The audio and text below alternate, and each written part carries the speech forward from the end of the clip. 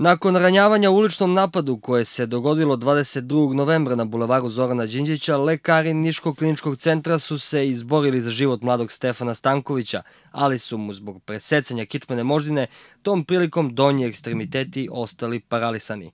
Nakon što je otpušten sa grudne hirurgije, na kojoj je takođe ležao zbog ubodnih rana i nakon što se izborio sa bakterijom Clostridijom, odpočeo je sa rehabilitacijom – Stefanu je nakon povređivanja prvo konstatovana paraplegija jer nije osjećao obe noge, ali se stanje poboljšalo, pa je sada njegova dijagnoza monoplegija, odnosno potpuna oduzetost samo jedne noge.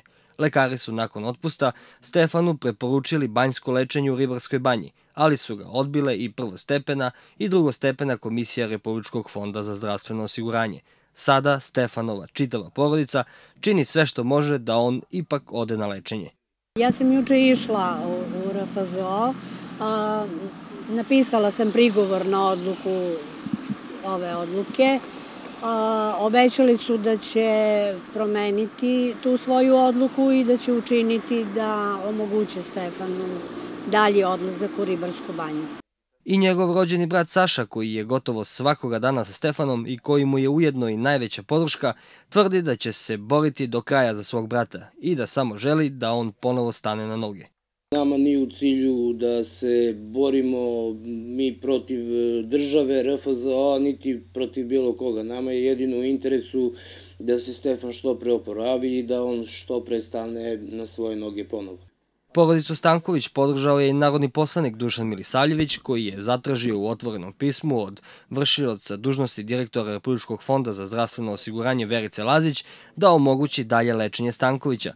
Po tom pitanju, ali i zbog velike medijske proprećenosti, oglasio se i fond koji je izdao zvanično saopštenje da će ceo slučaj ponovo biti preispitan. Meni je drago što je uprava Republičkog fonda reagovala i prihvatila moju, moju molbu da se stavi van snage odluka prvostepene i drugostepene komisije u vezi povređenog e, Stefana Stankovića. Mislim da su tu njegova prava kao prava pacijenta bila povređena i da i prvostepena i drugostepena komisija nisu e, adekvatno razmotrile e, predmet koji je bio upućen Republičkom fondu u Nišu.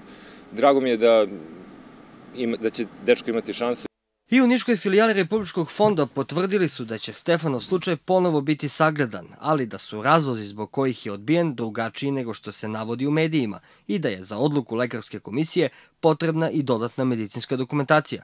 Lekarska komisija filijale za Nišavski okrug, kako prvostepena, tako i drugostepena, odbile su zahtev za osiguranika Stefana Stankovića iz više razloga. Jedan od osnovnih razloga jeste taj, a to nismo hteli, da kažemo u javnost štiteći e, pacijentovo pravo na privatnost jeste osnovna bolest koju osiguranik Stefan Stanković ima i koja je potpuno kontraindikovana za odlazak na rehabilitaciju. E, s tim u vezi, majka Stefana Stankovića, Nadica, je juče došla u filijalu, razgovarala je sa mnom kao sa direktorom filijale i ja sam joj rekla da podnese prigovor gde ću ja tražiti prispitivanje ocene lekarske komisije i prvostepene i drugostepene, jer ja na to imam pravo. Potpuno je neistina da je lekarska komisija nestručna kao stručno-medicinski organ, da je nesavesno postupila, da je e, povredila osnovno načelo zakona o zdravstvenoj zaštiti, a to je dostupnost za lečenje. To nije tačno. Upravo iz ovih razloga koje sam vam navela malo pre, tražit ćemo dopunu medicinske dokumentacije, dodatno veštačenje i pregled za pacijenta kako bismo mogli da ga uputimo u Ribarsku banju na rehabilitaciju i na dalje lečenje. Porodica Stanković i dalje gaji nadu i ima veru da će država pomoći njihovom Stefanu.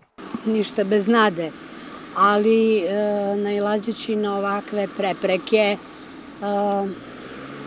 ne znam šta vam kažem, gubimo nadu, gubimo strpljenje, e, Stefan pada u očaj, razočarava se, ja kao majka isto izilazim s posla, uzimam bolovanje da bi mogla da ostvarim neka njegova prava za koja mislim da ih apsolutno ima. Ja se iskreno nadam da će oni doneti sada pravilnu, pravilnu odluku da povuku ovo, ovo rešenje, ovo rešenje gde su odbili Stefanov dalji tok lečenja, jer sve uredne papire imamo, sve je uredno predato bilo na vreme, znači ja stvarno ne znam na kontu čega su oni doneli takvu odluku. Podsjetimo, Stefan Stanković 22. novembra prošle godine napadnut je od strane grupe mladića u kasnim večernjim satima i tom prilikom je zadobio teške telesne povrede i preko 15 ubodnih rana u leđa dok je ležao na zemlji.